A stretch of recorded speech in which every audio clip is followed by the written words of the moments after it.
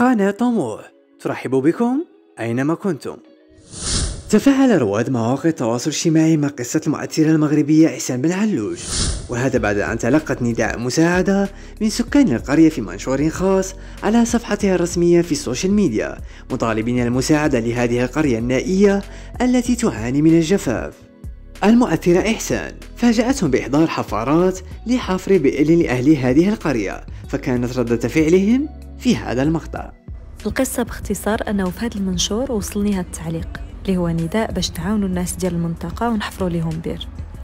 طلبت من هذا السيد أنه يرسل لي كافة التفاصيل في الإيميل ونعاون باش ما قدرت. تواصلت مع خليل من جمعية ديال سقيا. الله يجازيهم بخير. نسقت معاهم ورسلوا واحد المهندس وعملوا زيارة للمنطقة وجابوا الرخص باش تكون كل الأمور قانونية كيف ما كيديروا ديما باش إن شاء الله يتحفر هذا البير. ودابا شدينا الطريق هذا الصباح وتوكلنا على الله.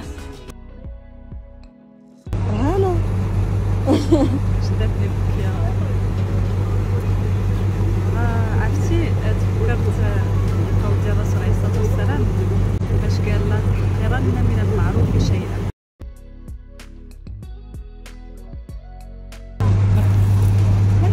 واشرف الله يرحم والديك والله يشتريك وهاد المرأة الله يبعد عليها البلا امين والله يشتريها امين والله يديها في النشاء ويردها في النشاء وعد قتلى الله يرحم والديها الله يرحم والديك والله يديك بخير ويردك بخير فين مشيتي الله يشترك الله يبعد عليك البلا الحديد فاش مشيتي الله يشترك واضربوا عليها الرش عاودوا.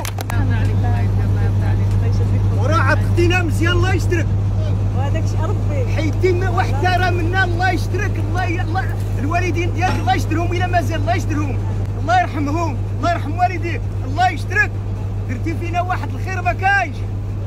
راه هزيتينا من رد علينا التراب هزيتينا من التراب.